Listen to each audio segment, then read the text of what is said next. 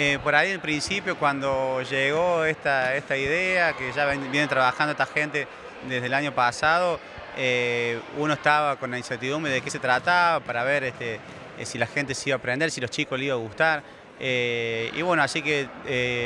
junto con el municipio trajimos los juegos para probarlos y la verdad que tuvo una aceptación bastante buena porque ya en los módulos tener cantidad de 60,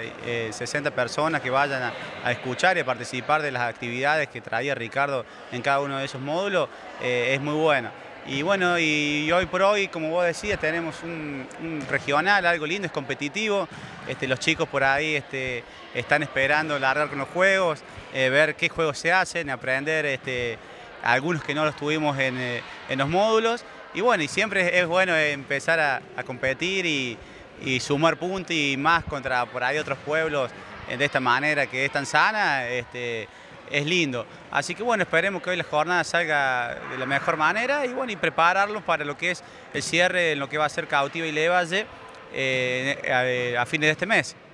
Eh, Mauri, bueno, como director de deportes te toca estar abierto a todas las disciplinas deportivas, pero como hombre de fútbol, ¿qué te ha parecido esto? El hecho de que hemos aprendido yo también, porque he venido casi en todas un ratito, a juegos que uno, por lo menos en mi caso, no había visto nunca, ¿no? Sí, no, yo siempre, cuando le fui a comentar eh, de los juegos a cada uno de los profes o al que, iba a invitar, eh, que lo tomen en cuenta no solamente, o sea,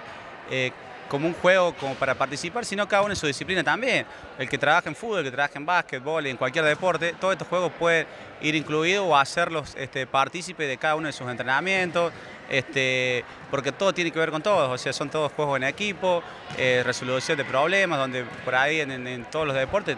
eh, no, no, suele pasar, así que es lindo, es una manera práctica también de meterlo dentro de la planificación de un deporte, sea cual sea, eh, que estamos acostumbrados y por ahí, ¿por qué no? A la gente que no tiene espacio en algún que otro deporte, eh, practicarlo y hacerlo de, manera común como, como los juegos o deportes tradicionales que tenemos acá en Maquena. Esto va a requerir que para el año que viene un compromiso más de la edición de deporte, poder ampliar, digamos, o por qué no tener alguna actividad sobre este tema. Sí, es la idea, es la idea. Eh, lo bueno, como te decía, los jóvenes se prendieron y eso, a eso apuntamos, que los chicos por ahí se tengan la, posibilidad de, demostrar también, porque son juegos, como te decía, que permiten a, cualquiera realizar eh, la actividad. O sea, no es necesario que, tengan las condiciones físicas este, adecuadas. O sea, no, este cualquiera lo puede hacer, hasta hay juegos sentados, este, juegos de mesa, eh, pero bueno,